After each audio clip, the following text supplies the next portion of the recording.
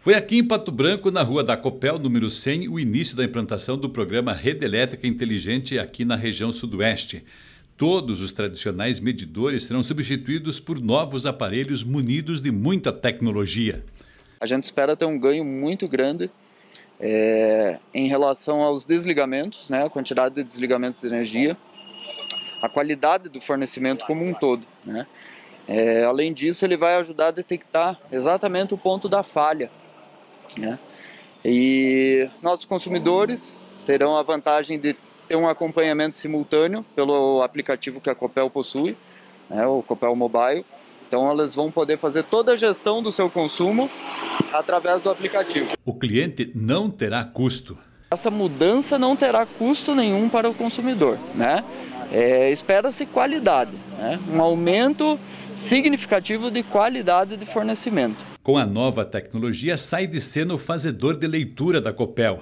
Os furtos de transformadores tendem a diminuir.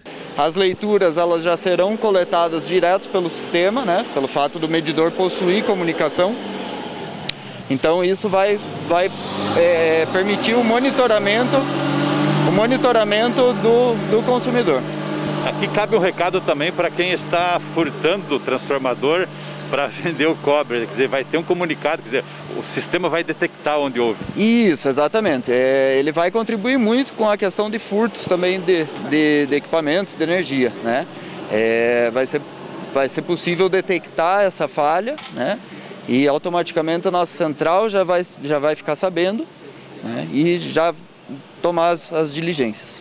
Serão beneficiados na primeira etapa 73 municípios das regiões Oeste, Sudoeste e Centro-Sul do Paraná, e na segunda, mais 78 municípios, incluindo as três regiões já citadas e mais municípios da região metropolitana de Curitiba. Serão investidos 820 milhões de reais no projeto.